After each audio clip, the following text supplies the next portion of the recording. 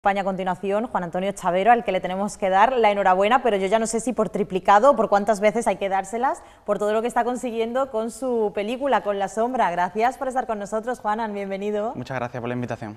Un placer estar aquí contigo, además contigo siempre hablamos de cosas interesantes, de cine, de lo que nos gusta, pero en este caso sí que vienes como auténtico protagonista, porque yo ya he perdido la cuenta de la cantidad de nominaciones, de premios y, y de todo lo que estáis eh, recibiendo con La Sombra. ¿Cómo estáis viviendo el equipo todo esto?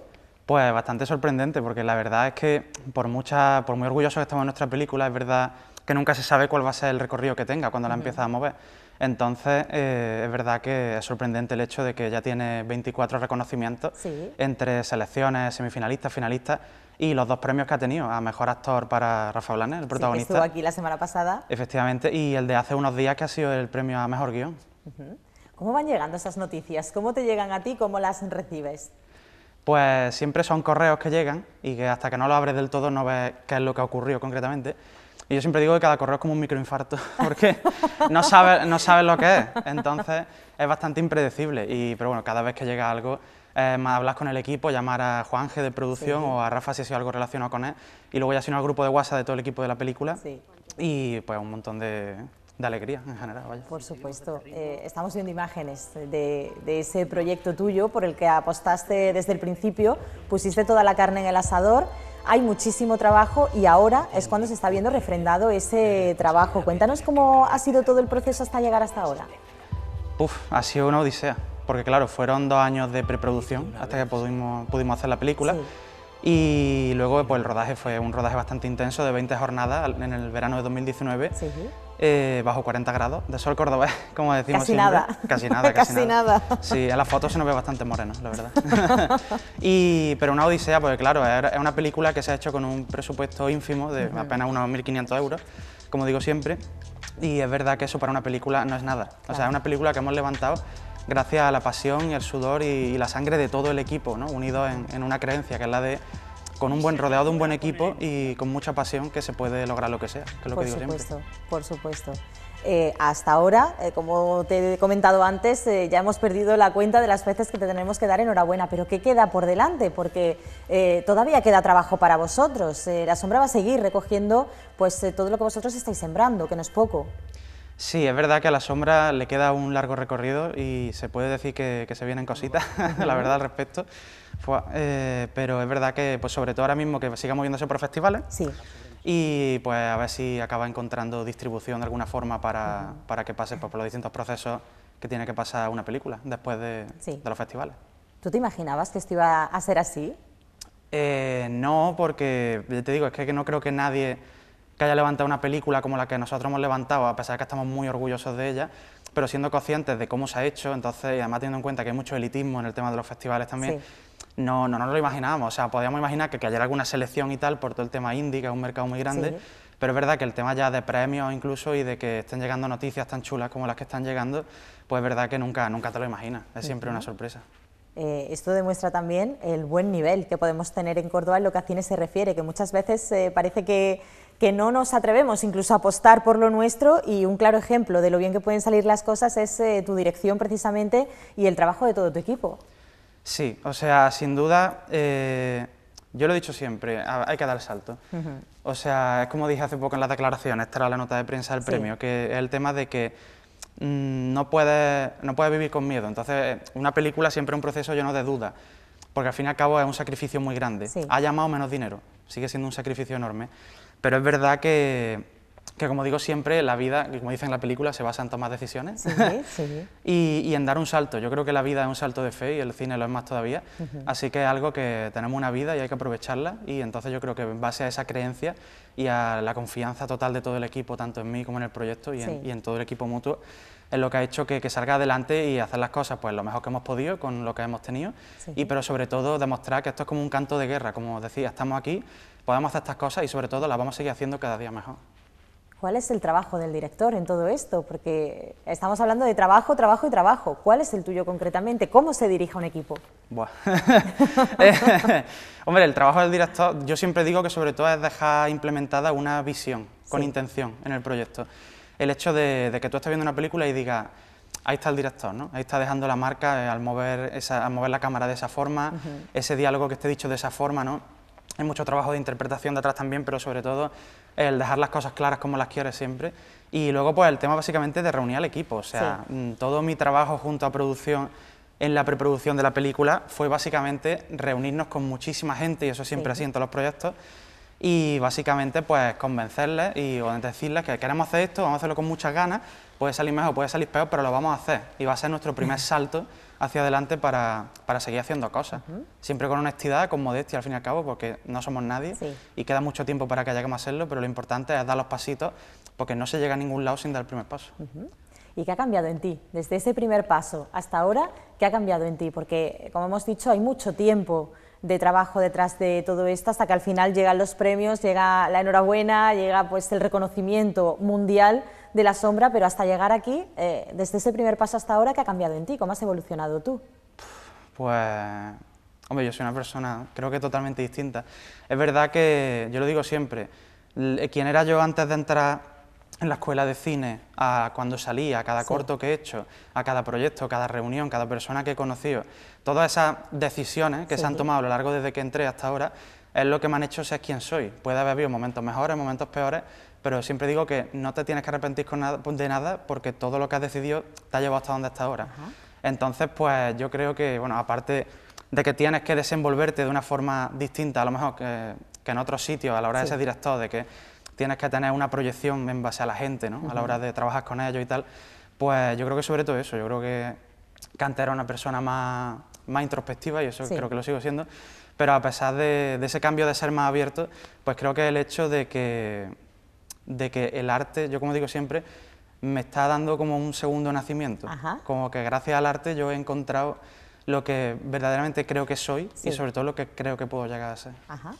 Y no sé si este trabajo también lo podemos considerar un poco pues, como una llamada de atención, un tirón de orejas para que se apueste por el arte y para que se apueste por la producción propia, sobre todo hablando de aquí de, Córdoba, ¿no? que es lo que te decía antes, que hay un nivel fantástico, la muestra la tenemos ahí con La Sombra, no sé si este es un pequeño tirón de orejas también.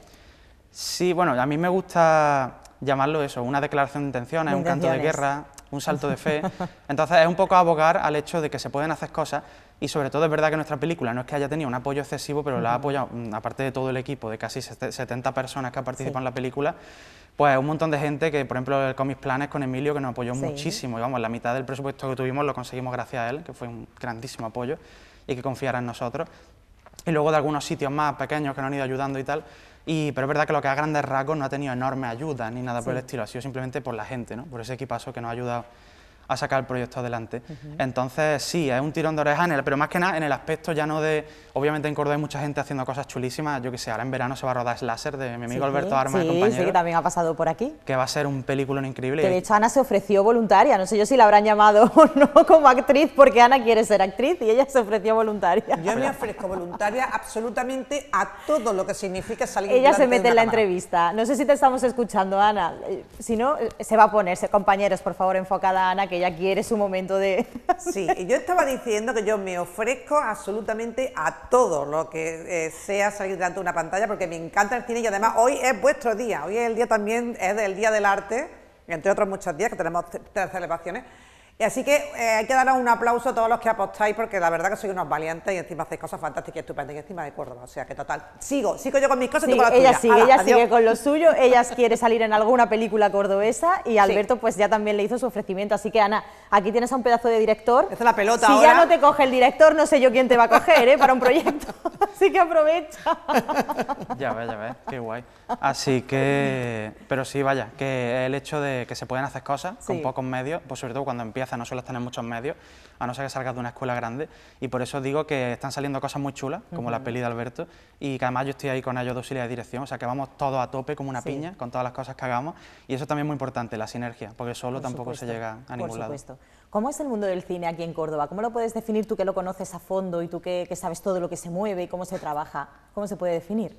pues eh, yo lo definiría como un, un creciente grupo de personas que están empezando haces cosas chulísimas que han tenido que pasar por, por, muchas movidas para llegar a ese punto en el que se empieza a reconocer que, está, que estamos aquí esta gente haciendo cosas chulas, y, pero que desgraciadamente se sigue colocando o viendo como en un segundo lugar en comparación a lo mejor con otras cosas. Entonces, cuando el potencial artístico que tiene esta ciudad y el que le podemos dar a la gente que estamos metidos en el audiovisual, creo que es enorme y que puede incluso ayudar muchísimo respecto al tema del turismo también, o de dar a conocer más cosas de la ciudad. Y es verdad que creo que realmente, sobre todo las instituciones, no, no acaban de ver eso del todo, o creo yo que no le dan la suficiente importancia, sobre todo en el hecho de colocarnos en el mapa audiovisual de, de un país como España, que tiene producciones muy variadas y sobre todo cada vez eh, hay producciones más interesantes y, novedosas. Hay de todo como siempre, pero yo creo que el cine es algo muy grande y yo al menos cada vez veo cosillas más interesantes. Pues eh, si tú tienes ese ojo, que es el que nosotros tenemos que seguir, pues mira, eso quiere decir que goza de buena salud también el tema artístico y sobre todo el, tema audiovisual también aquí en Córdoba. Nosotros barremos para casa, por supuesto. A partir de ahora, eh, ¿qué otros proyectos también tienes entre manos que se puedan contar? Porque claro, no todo se puede decir de momento, pero bueno, ¿nos puedes dar una pincelada de, de lo que hay ahora mismo en tu agenda? Pues demasiadas cosas. Eh, eso es bueno, ¿eh? eso es bueno. Sí, sí. Hombre, mm, aparte de los enlaces que he dicho que estoy con ellos, eh, hay un proyecto bastante grande del que es verdad que no puedo decir mucho, pero que creo que Rafa ya habló un poco también, porque eso sí se puede decir. Si va todo bien, estamos preparando la que va a ser mi segunda película y que va a estar protagonizada otra vez por Rafa Blanes. Ahí estamos el dúo Tandem otra vez. con Juan Jesús Granja también otra vez a la cabecilla de producción y, va a ser, creemos que puede ser un punto de inflexión, sobre todo en lo que respecta a la producción de cine cordobés, sobre todo en el ámbito ya visto desde el punto de vista artístico y sobre todo en la relación que puede tener con, con el tema incluso histórico-artístico de la ciudad, diría yo. Entonces, poco más puedo decir desde el momento porque estamos entrando en preproducción ahora, pero si va todo bien, a lo mejor dentro de medio plazo o corto plazo se pueden ir diciendo más, más cositas. ¿Y el tema de la formación, cómo lo ves en Córdoba? Hablando ya de, cómo está todo y del el tema futuro, ¿cómo ves también el tema de la formación? Pues, hombre, eh, sería, sería hipócrita si no dijera que no hay nada, porque hay cosas. Es más, yo empecé en la Escuela de Teatro y Cine de Córdoba, que, que, estaba en Gran Vía Parque, en Ciudad Jardín, pero es verdad que yo creo que por sitios que haya tienes que ser muy autodidacta. Por ejemplo, yo empecé allí, pero obviamente eso, aunque no fuera la ECAN ni la TAI ni otra, de otra escuela, que sinceramente da absolutamente igual, porque al final todo depende también mucho de uno mismo, puedes entrar en una escuela grande, pero que si tú no te pones las pilas no vas a lograr nada al fin y al cabo. Entonces, básicamente, yo creo que hay que ser muy, muy autodidacta, o sea, la escuela de la calle, ¿no? Como se diría y tienes que, ver muchas películas, leer mucho sobre esas películas, ver películas de todas las épocas, como digo siempre, porque para entender el cine de hoy hay que entender el cine del pasado. y sobre todo, hombre, hay sitios chulos en, en Córdoba, empezar, por ejemplo, en Ángel de Saavedra hay cursos relacionados con el audiovisual, de los que yo he conocido gente muy interesante. Por ejemplo, Adrián Ortiz, que el guion de esta posible segunda película lo he escrito con él y que es un director de foto y guionista excelente, Adrián Ortiz. Y, y he conocido gente muy chula, entonces es sorprendente, porque yo no me lo esperaba, porque al ser una escuela más homologada, más pública, digo, a lo mejor aquí no hay la inquietud artística que yo podría buscar, pero sorprendentemente es un sitio del que estoy conociendo gente muy chula y que creo que, empieza a merecer la pena, la verdad. Entonces creo que eso, hay sitios chulos en Córdoba para empezar, pero que al fin y al cabo, entre donde entre, depende de ti y de las pilas que te pongas y de, cómo digo yo, darlo todo para, para posicionarte ¿no? como artista. Pues tú te has posicionado muy bien como director y La Sombra está perfectamente posicionada. Eh, un resumen breve de La Sombra, por si alguien todavía está despistado en casa o alguien quiere saber un poquito más, ya que te tenemos a ti como director, a ver, cuéntanos algún secretillo del making of o cuéntanos algo que para vosotros eh, sea inolvidable, cuéntanos algo, algún detallito. Vale, eh, hay, un, hay una parte de la película que se rodó cerca de un pantano, en Puente Nuevo, creo que era, que era una pedanía de Espiel, y entonces eh, nosotros desde que fuimos allí eh, consideramos eso como Chernobyl 2, porque salimos con unas picaduras de mosquitos, que de rollo piernas hinchadas y cosas muy bestias, y además algunos miembros del equipo tuvieron que ir al hospital que, a que le recetaran algo porque fue bastante heavy, dijimos, esa, agua no es muy buena, ahí hay algo raro en ese agua del pantano. Así, además que allí rodamos un plano secuencia, que además ese plano lo grabé yo, y que además me lesioné también, o sea que con ese pantano tenemos, tenemos varias historias. Con o sea que, que, hay que tener cuidado, ¿no? Sí, sí, Hay que tener cuidado. Sí, sí, efectivamente. Bueno, pues eh, Juan Antonio, muchísimas gracias por haber estado con nosotros esta mañana. Enhorabuena una vez más de todo el equipo de, PTV que seguimos desde el principio todo este proyecto de La Sombra y estaremos encantados de seguir dándote la enhorabuena, que sigáis eh, recibiendo pues todo ese cariño y todo el respeto que estáis recibiendo por vuestro trabajo y ya por la segunda película, que ahí estaremos nosotros también para, para ver qué tal va todo. Muchísimas gracias a vosotros. Un placer hablar de cine siempre contigo. Gracias.